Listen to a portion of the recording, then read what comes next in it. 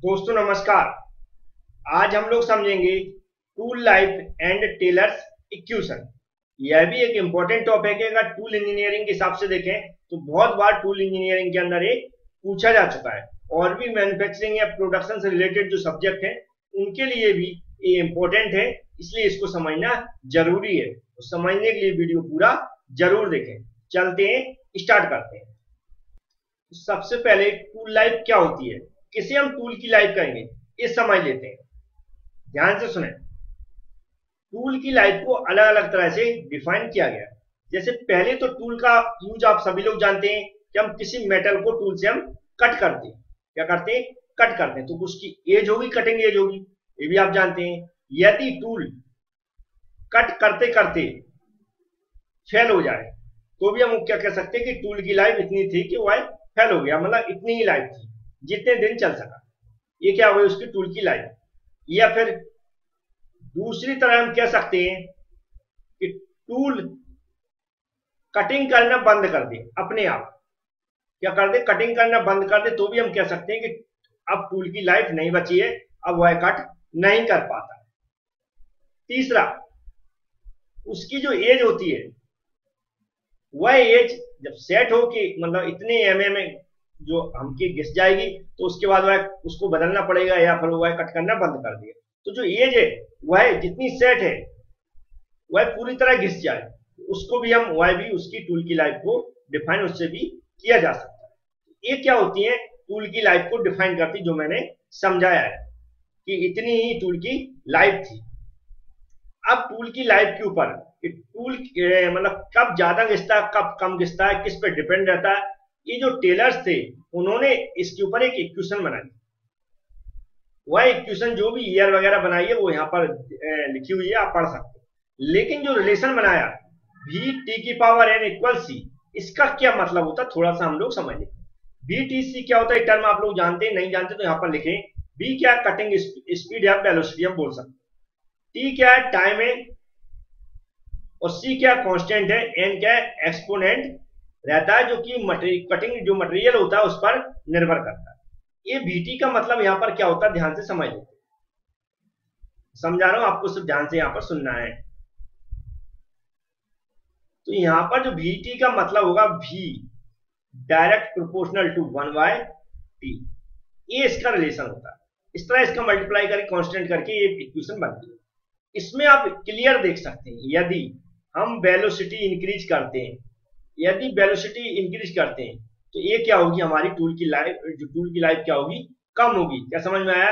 यदि हम velocity increase करेंगे तो टूल की लाइफ कम होगी। और यदि इसके अपोजिट हम इसको कट कर दें, यदि हम जो टूल की लाइफ बढ़ाना चाहते हैं तो वेलोसिटी क्या होगी हमारी? कम होगी। मतलब वेलोसिटी हम कम करेंगे तो टूल की लाइफ बढ़ेगी। ये इन दोनों में क्या करता? रिलेशन बताता। तो बहुत सारे ऐसे फैक्टर हैं, जिनसे टूल की लाइफ क्या होती? है जिन पर डिपेंड करती है। इनको जो भी इसके जो मटेरियल होते हैं, उनके लिए अलग अलग जो वैल्यू होती है स्मॉल ई की, ये मैंने पीडीएफ में सब कुछ लिख दिया है तो आप वहाँ से पढ़ लें।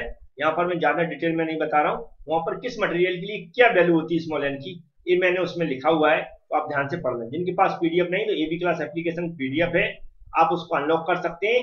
यहाँ तक कि पूरे सब्जेक्ट की जितने टॉपिक है मैक्सिमम पीडीएफ मिल जाएँगी तो वीडियो लेक्चर का कोर्स भी मिल जाएगा तो ध्यान रखें, है ना? ये एन की वैल्यू उसमें मैंने दर्शा दी तो आप उसमें देख सकते हैं। उसी ग्राफ वगैरह भी जो वैल्यू के अनुसार जो ग्राफ बनाए वो भी मैंने दर्शाए हैं तो आप एक बार देख सकते हैं। लेकिन हमें यहाँ पर देख रहा है, जो फैक्टर्स होते हैं किस किस पे डिपेंड करते हैं। पहली क्या हो गई? कटिंग स्पीड क्या हो गई?